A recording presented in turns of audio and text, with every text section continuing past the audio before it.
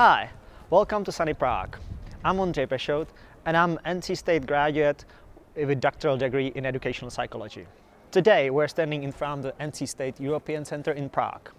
NC State Prague was founded in 2005. Since then, more than 2,000 NC State students came here to study abroad. I'm the instructor of EDP 304, Educational Psychology, and EDP 370, Child Development. Those are GDP courses offered by NC State Prague. Today I would like to tell you something about the Czech educational system. So, where is the Czech Republic? The Czech Republic is landlocked country. It's located in Central Europe, right between Germany, Poland, Slovakia and Austria.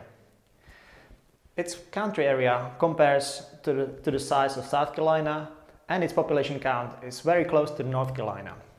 But the population of the Czech Republic is way less diverse than in the US. Most of its citizens are Czech. And the official language is Czech.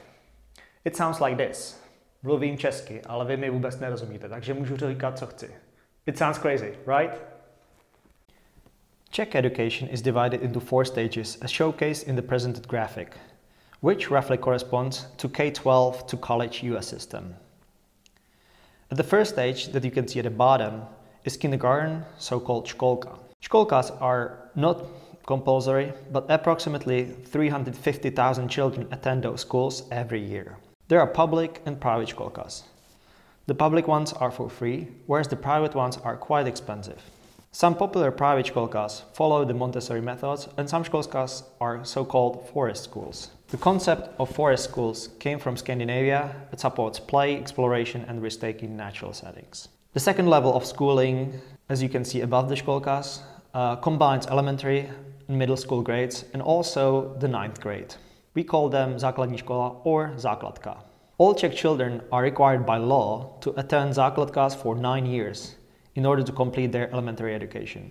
Approximately 1 million children all over the country attend základkas. Most of them are public and children attend them for free, but there are also a few paid options such as church and private základkas. After completing their 9 years compulsory education, moving up, students can decide to enter the third level of schooling and study high school or vocational schools. Among high schools, students have many options. The, the most common are so-called gymnasiums, it's in the graphic on the left. They are the most competitive high schools and essentially help prepare students for their college education. Some children can enter gymnasium schools at the sixth grade already.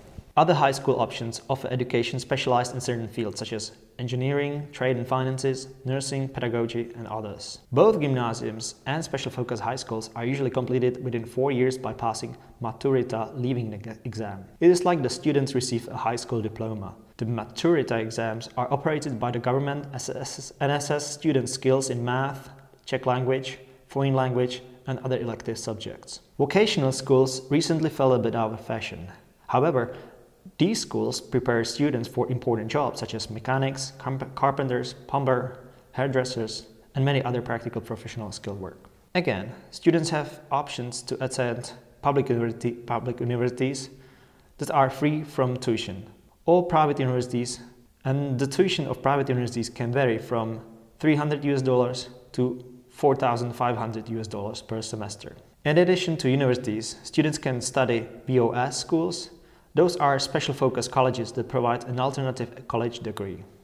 I also tried to list the differences between the Czech and American schooling system. Here, the school year begins on the 1st September and ends on the 30th June for elementary and high schools in the system. So students are always excited about two their two months summer break. The school year is divided into two terms. At the, at the end of each term, students receive a grade report listing their grades for all their subjects students can actually receive five grade marks, ranging from one, the excellent result, to five, which stands for a failing the class. Students can take their first foreign language at the third grade and their second foreign language class at the eighth grade. All schools have to follow the national curriculum issued by the government. Most of the children attend public schools that are free and have reasonable lunch prices supported by government funding. Public universities are also free from tuition. In fact, some of them provide some scholarships for students with special needs or to students who come from disadvantaged families. In the Czech Republic, there are usually no campuses like the one at NC State.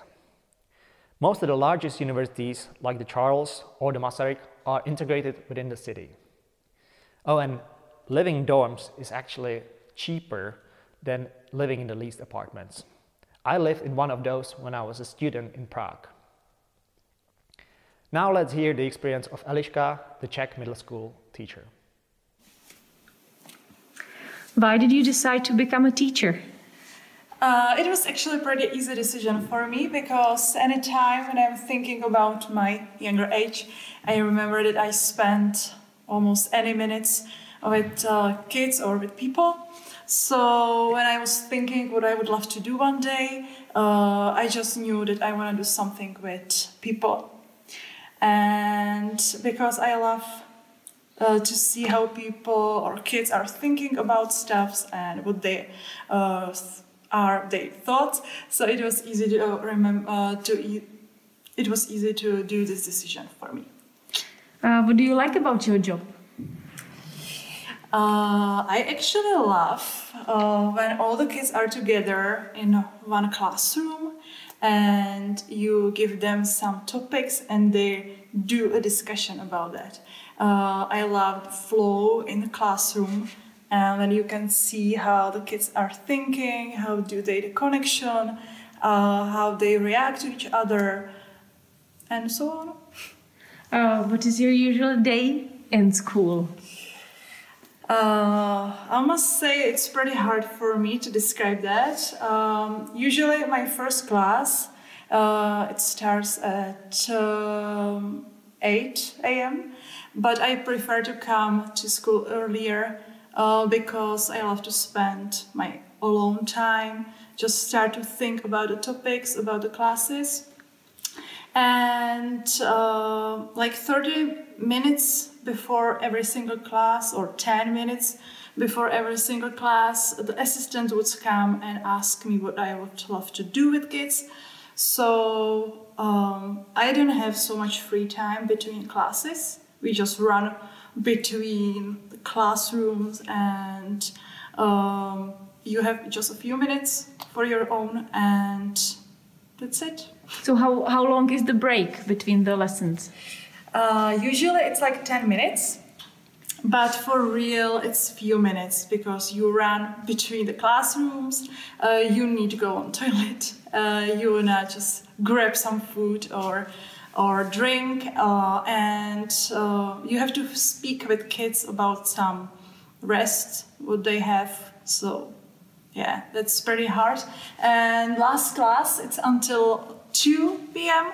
Uh, but afterwards you have to prepare uh, another classes or you have to mark and do evaluation and write to parents yeah so it's hard actually how often do you meet with your uh, with your colleagues with other teachers oh, that's a good question uh, it's based on how many grades uh, you have so I'm a teacher in two grades. So I have two meetings in two weeks, I guess, every second week. Yeah.